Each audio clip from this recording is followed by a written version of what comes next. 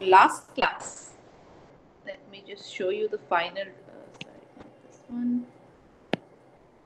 This one, yeah.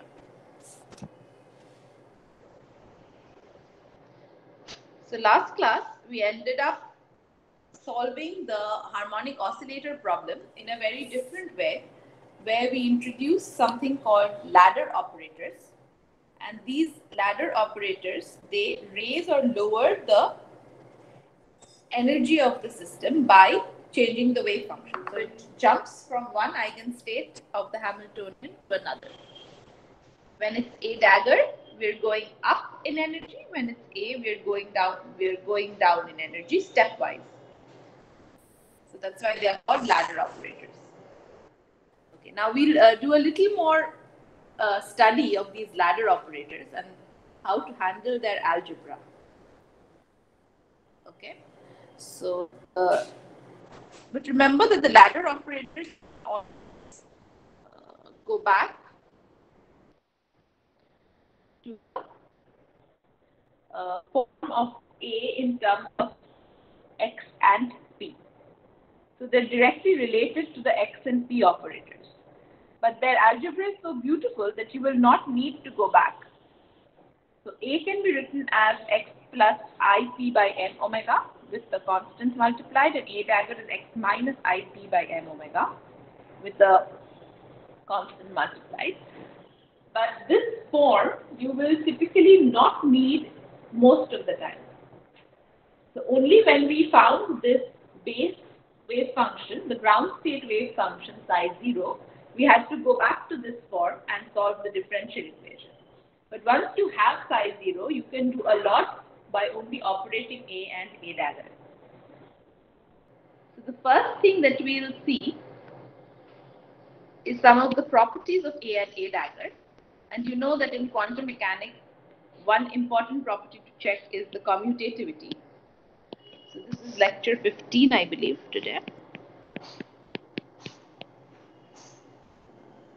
This is, today is 30th September. Okay. So we found out that a psi takes me from psi n to psi n minus 1 and from E0 to E0 minus H cross omega. And A dagger psi, this takes me from psi n to psi n plus 1 or uh, let's see okay put it more generally. From en to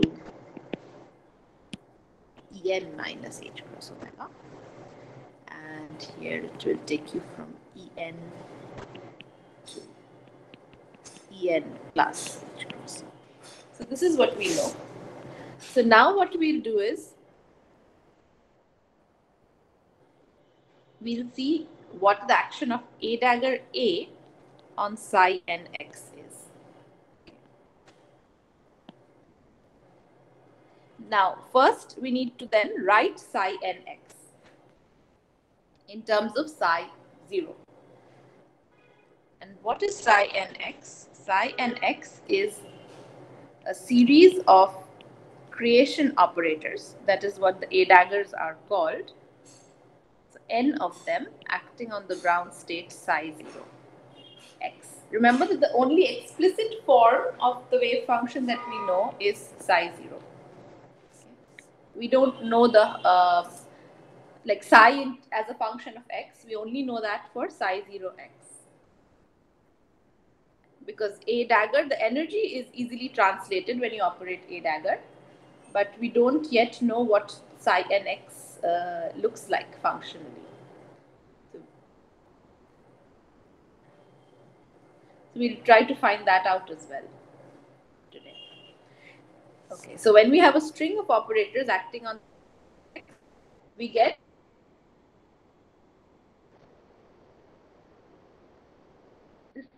uh, there is no this is normalized wave function. In fact, Ma'am, you your voice is breaking. Oh, sorry. So, okay, I hope the connection improves. Is, is, is it okay now? Yes, ma'am. Okay. So, uh, this gives you the nth excited wave function, but this will have a different normalization constant. And that is, let me write it as an. And this an has a normalize, uh, has a value which is 1 by root of n factorial. Just accept it for now. I will uh, work it out as, a, as an exercise. Okay. Because if I stop here now, then we'll uh, not cover the more important part. So an is equal to 1 by root of n factorial. So now if I want to act a dagger on psi n x, then I have 1 by root of n factorial. Yeah? Ma'am, did you say that uh, we get the value of an by normalizing it? Yes, yes, you get it by normalizing it, but uh, I'll show you exactly how to do it you don't really. Uh, if you have an a dagger to the part n, it's, you can't just do a normal integration. Right? You need the functional form and then you can normalize it. I'll, I'll work it out, okay? But I'll not uh, stop there now because I want to show you the action of A dagger A first. So there are some gaps that I'm leaving at the moment. So if you, while studying, if you find it out and you can understand, well and good. If not, we'll have a tutorial where we'll work out the gaps. So this is the normalization constant. And then I have A dagger A, A dagger to the power n psi 0x. Okay. And we had found out the commutator. We know that A dagger A is equal to one, uh, uh, sorry, A, A dagger commutator is equal to 1. This we know. So how can we simplify this? Let's see.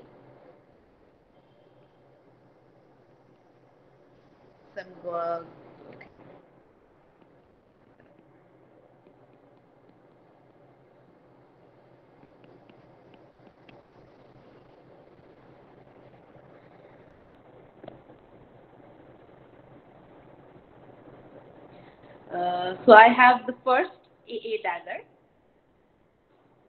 So I can have an AA dagger. And then I have an A dagger to the power n minus 1 size.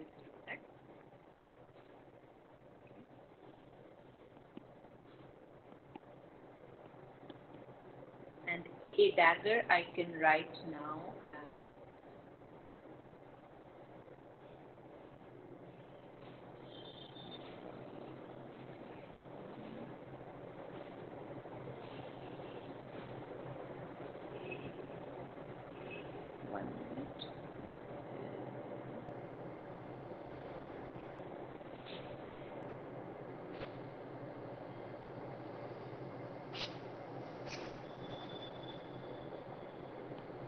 1 minus a dagger a.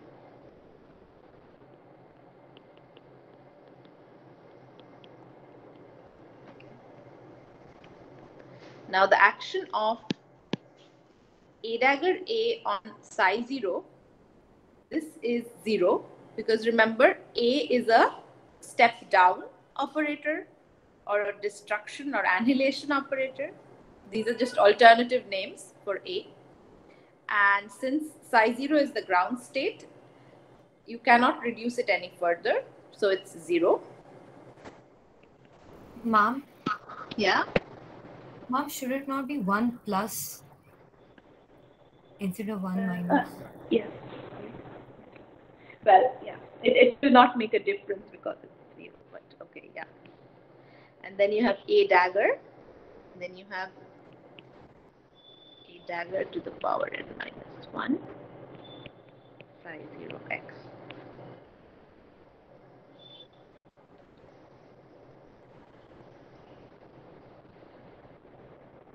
Okay.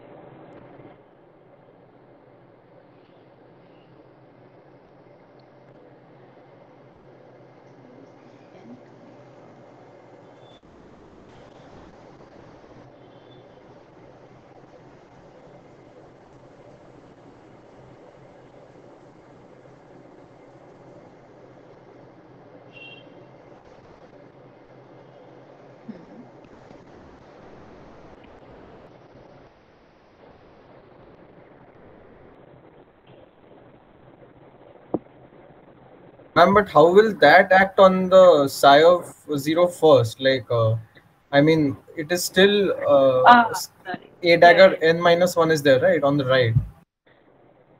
Yes, yes, yes, yes. Sorry. Yeah. So that's why I was getting a little bit confused. I will do that. The thing is, uh, this is what we want to go all the way to psi zero. Okay. So finally, uh, so let, let me write one more step that will solve. So I have one plus. Uh,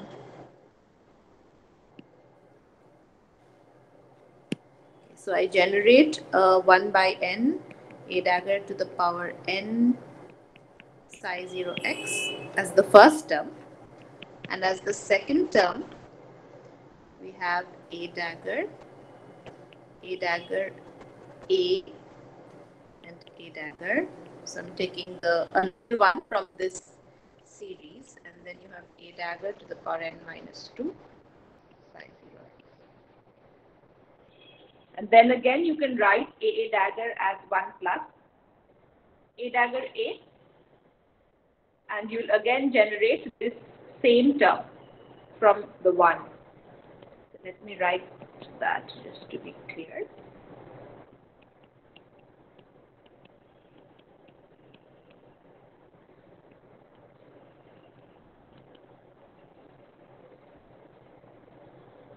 So I skipped one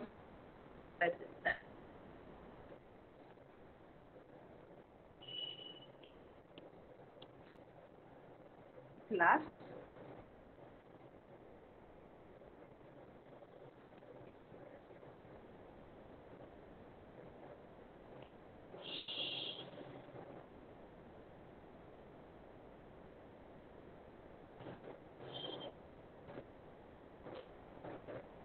so you can so you can keep shifting uh, taking out one a dagger from this a dagger to the power n minus 2 or whatever and swapping the a dagger and a using the commutator relation. And every time you will generate this same term. So we've already generated two of the same terms. And eventually when you go to the last one you will have generated n of these terms by factorial a dagger to the power n psi 0 n uh, sorry psi 0 x. And in the final term you will have root of n factorial a dagger to the power uh, there's three of them here. And finally you will end up with n. Yes, so you will end up with n plus 1 of this. And you will have a 0 x. And this is the one which will annihilate psi 0 x. And you will, so you, what you have got is that a dagger A acting on psi 0 x, uh, sorry, a dagger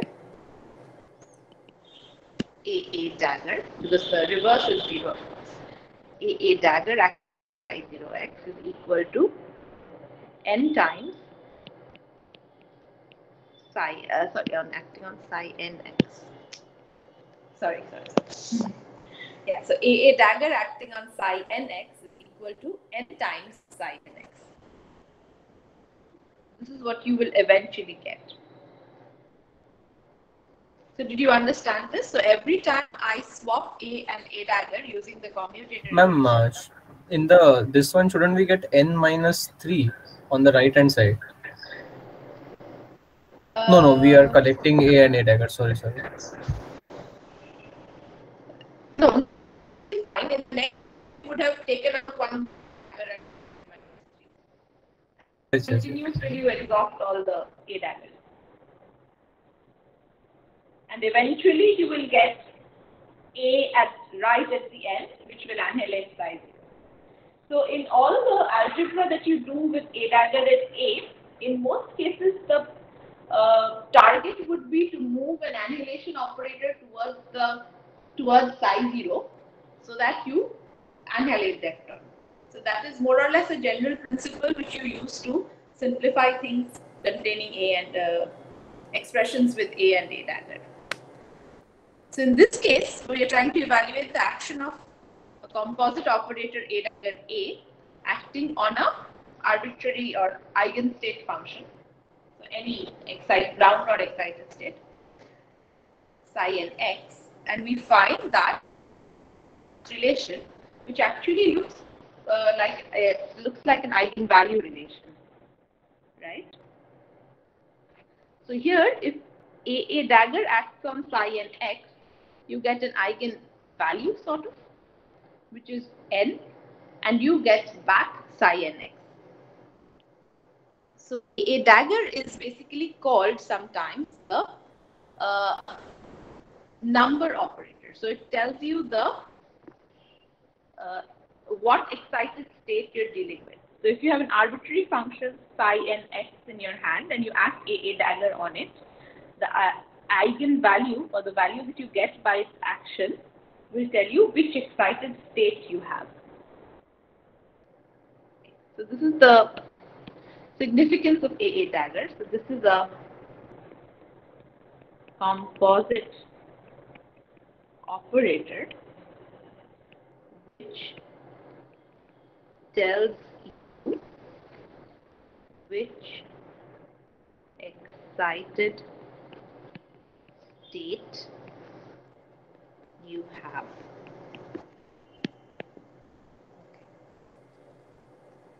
This is one more important relation. Yes. Ma'am, but we started off uh, writing A dagger A and not A A dagger. Did, did I do that? Uh, ah, sorry, sorry, sorry. Ah, I'm distracted today. I was working on something else. So now I'm a little bit.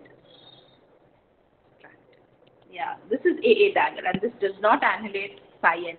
If it was psi 0, it would have annihilated.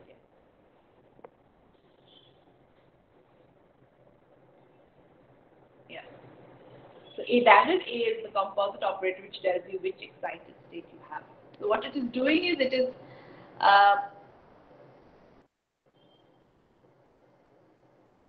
it is reducing the excitation level of psi n once and then restoring it and in doing so it is finding out which excited state it acted on. Okay. So this is one important relation. Then the next thing is we can find out a commutator of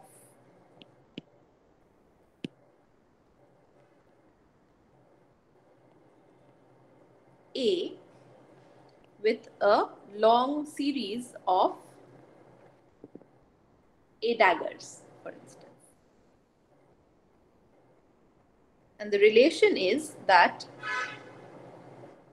the value of the uh, so the value of this commutator is k a dagger to the power k minus 1. Now, can we prove this?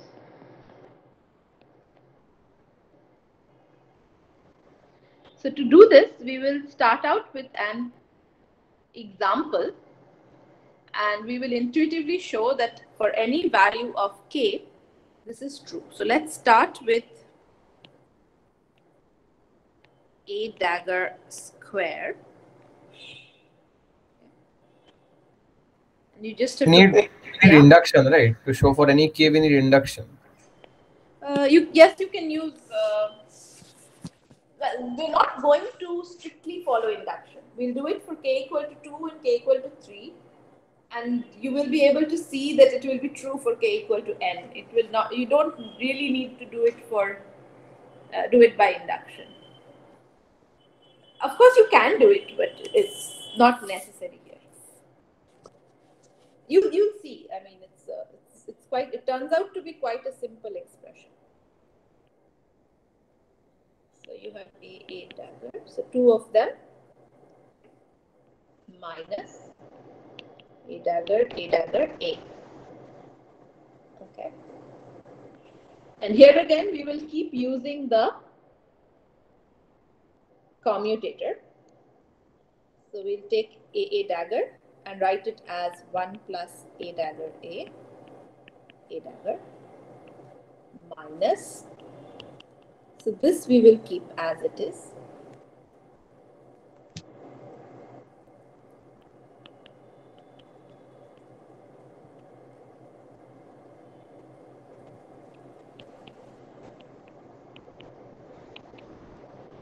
And notice that if I take a dagger common, I will get a, a dagger commutator of which I know the value.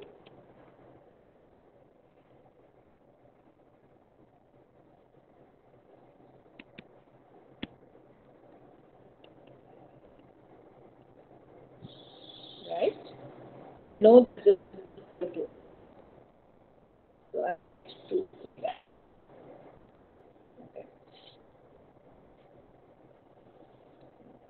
Now if I do with three A dagger operators,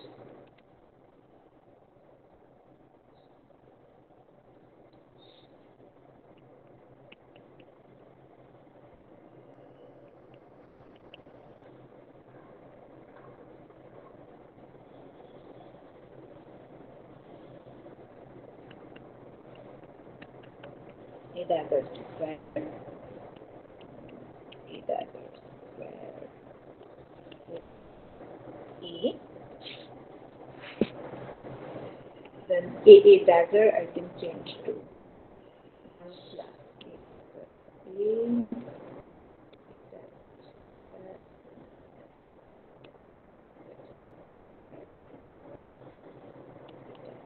A. A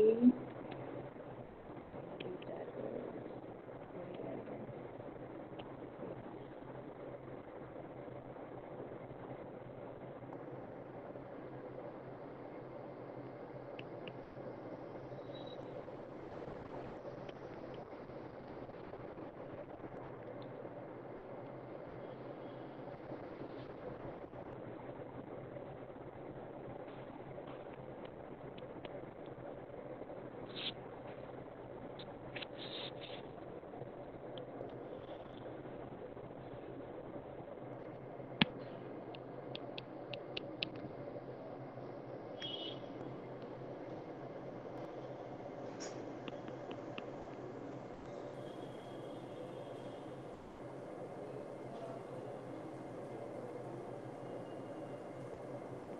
Okay.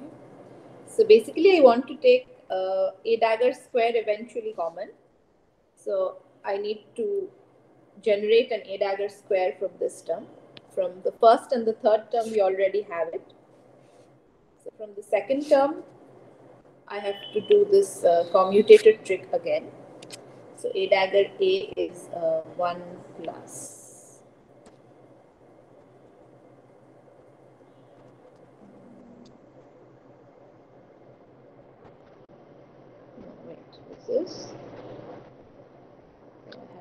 dagger is equal to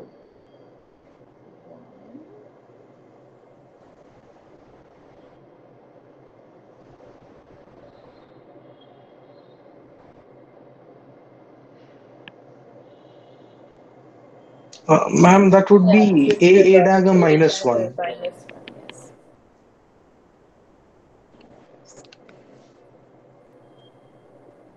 uh, okay, but that will not help me. What I need to do is I need to get a a dagger square out. I don't want to, I want to shift the a's to the other side. So I will have to take not this one, but one more, one a dagger from here. So I'll have to do a dagger and then the a, a dagger I write as 1 plus a dagger a.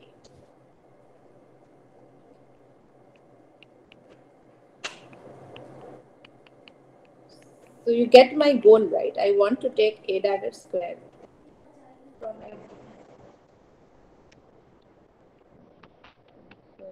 this. Then I have a eight, another a dagger square. And then I have a a dagger square. A, a dagger. Then I have minus a dagger square. A, a dagger. Plus. Okay. Uh, the third and the fourth they cancel among themselves. And I am left with three A daggers. Okay. So with when I have k equal to 2, I get 2 A daggers. When I have k equal to 3, I get 3 A daggers square. Therefore, we can surmise that if I have a commutator of A with A dagger to the power K, then I will get K and be left with A dagger to the power K minus 1. This is a surmise, of course. This is not a proof in that sense. But uh, if you have the patience, you can, of course, uh, show that if it, if this relation is true for k minus 1, then you can uh, find or prove that it is true for k.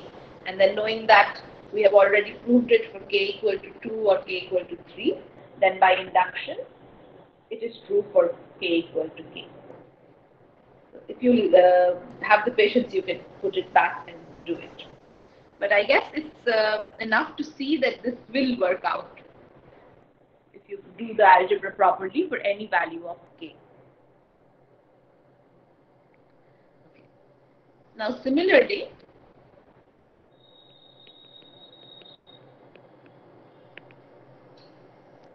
there is the related relation also, the commutator of A dagger with A to the power K. And that is, that has a minus sign. So it's similar to the previous commutator. So you get the number K in the beginning and A to the power K gives you uh, results in a to the power k minus 1 on the right but you have a negative sign you can also try this out in, a similar way. You just have to um, make sure that you get a to the power k minus 1 common. So if you take k equal to 2 then you have to try to get 1a on the left in each term. If you take k equal to 3 you will have to try to get a square out of each term. So anytime you have a, a dagger before uh, the A, you have to use the commutator to move it to the right. So that is basically the general principle which will allow you to uh, do any sort of algebra with creation and annihilation operators. And you see this is much simpler than solving differential equations like we were doing before some more relations. So this is one more relation. You can try out the proof. Okay, uh, let me tell you something more about this A dagger A operator. I forgot, I did not write the name. So A dagger A is called the number operator. and sometimes you will see written as n, capital N.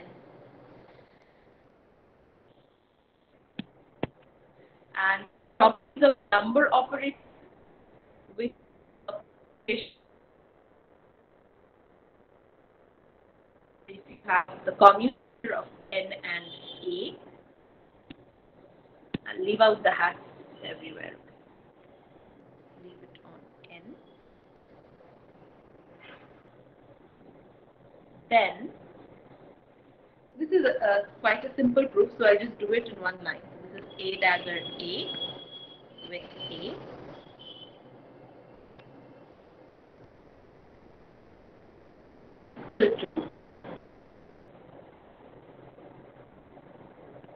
A dagger A commutator and I'm taking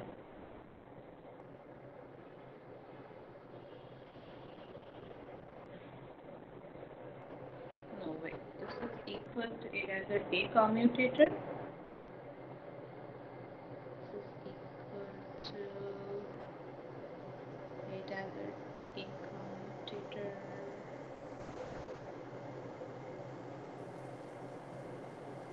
no this so let's so let's actually prove this okay? I will not just write it in one line so this this is equal to minus a. Write relation and then we'll solve it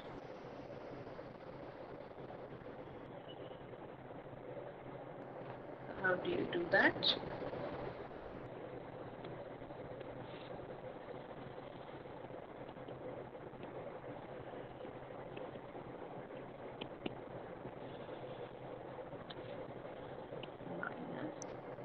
A, A dagger, A. Okay. Now, to minus A, so we have to move all the A, A to we have least to the left. The first one, the first term, we use the commutator on A dagger A, and that is A A dagger minus one.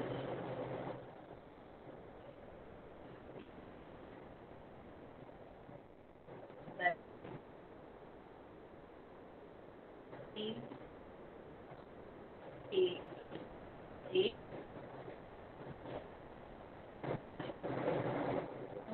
Simple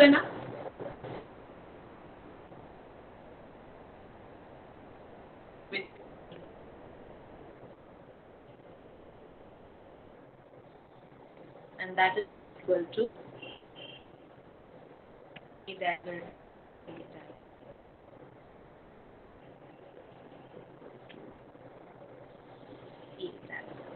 We just have to remember the signs carefully. So whenever you have the answer as a annihilation operator, there is a minus. Please remember. So both for one and operator, you uh, you have a positive sign. So you remember it in that way.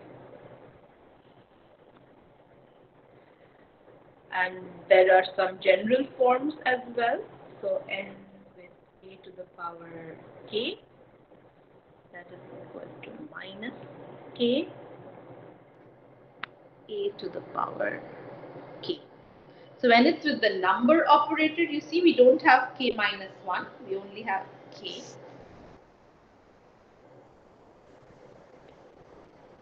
And you have the dagger k.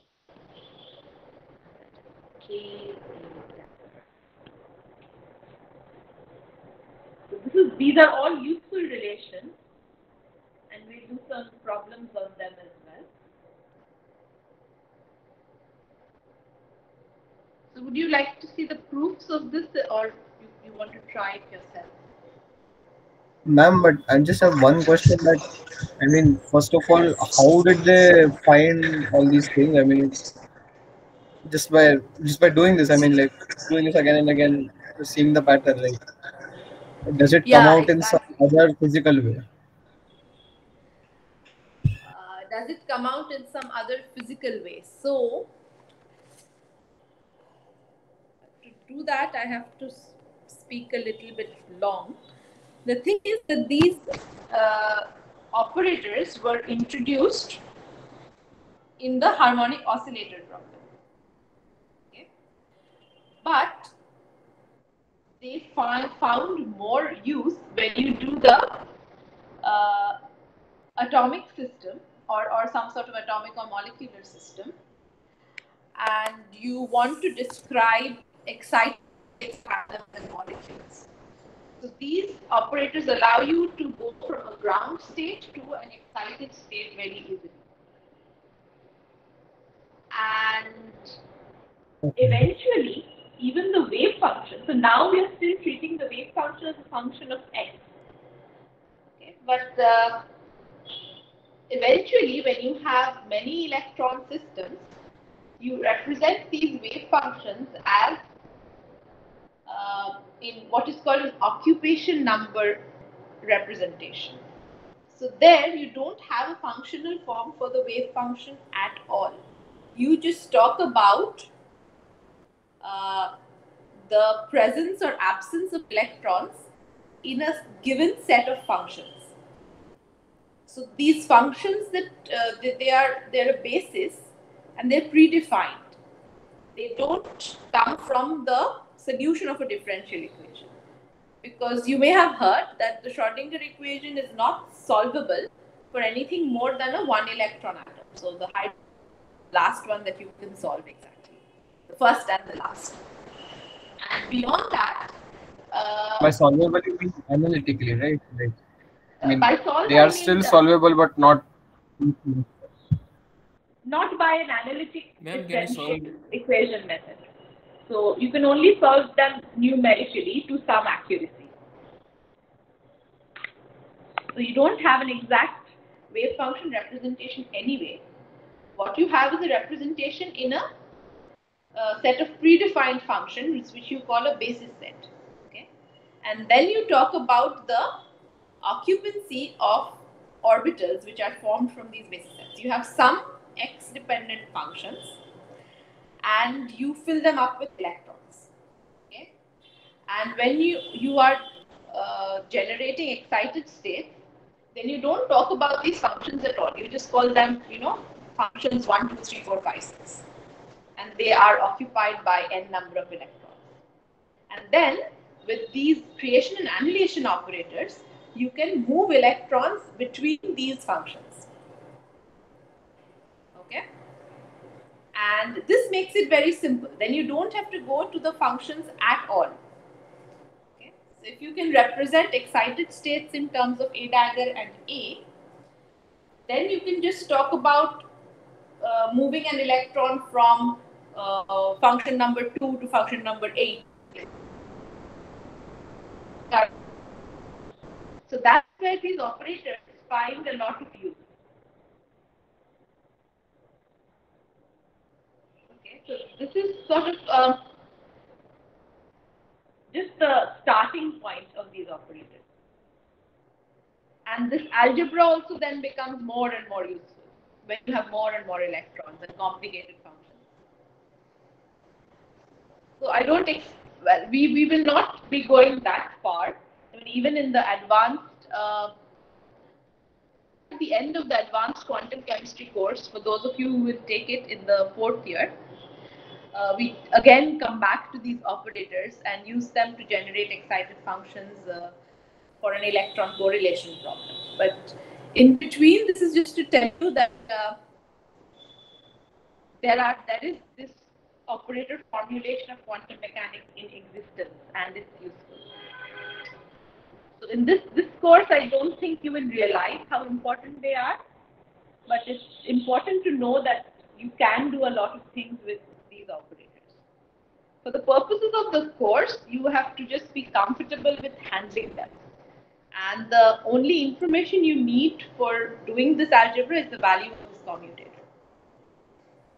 AA dagger. Just AA dagger commutator equal to 1. That is what you need to remember. And then well, you will have problems which deal with this algebra, but you will not really make use of it beyond the harmonic oscillator. I hope you at least appreciate that the operators make solving this harmonic oscillator problem easy. I think you will uh, appreciate this even more when I do it in the differential equation form, because then we'll have to write long lines. Here I'm just writing A and A dagger and strings of operators. There you'll see how, complicated the x-dependent functions turn out to be. And you will, it, it's even difficult to remember them, so we'll see. Hello, ma'am. Yeah, Ma'am, can you scroll up a bit? scroll up, okay. Where, how, Just more? Yeah, more. Yeah, Some more, some more. some more, okay. Ma'am, uh, ma'am, sorry, but can you please just go bit down? I have to just write over the one line only, the last one. I I, I just completed. Okay, okay. You complete this and then I'll go back to the previous question.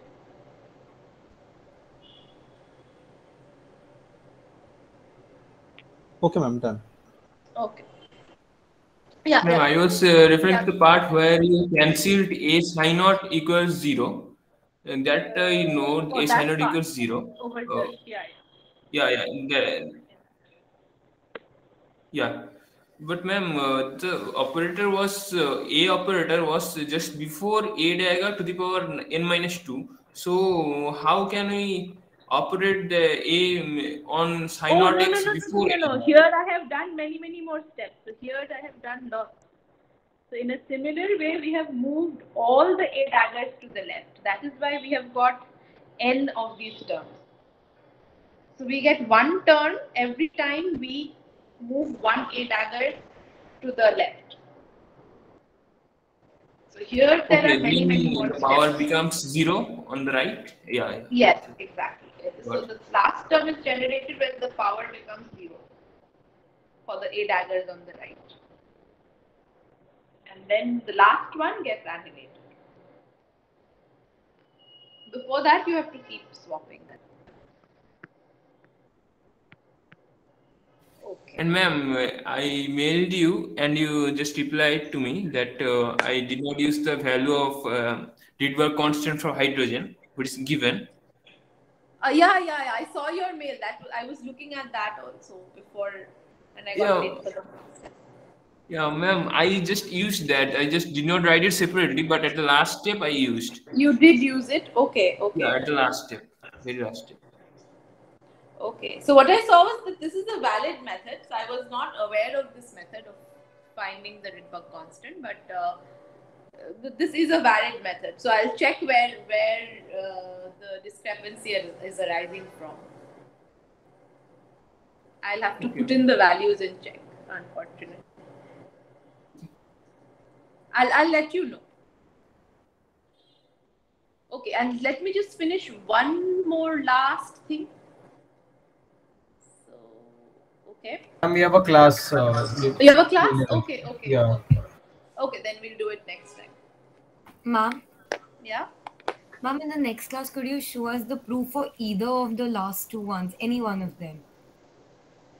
Uh, the last, uh, the last one you mean? These these two? Yeah, sure, sure. Yeah, any one of them, if you could just show. Okay, sure, sure. I'll continue from here next class. Okay, ma'am. Thank you, ma'am.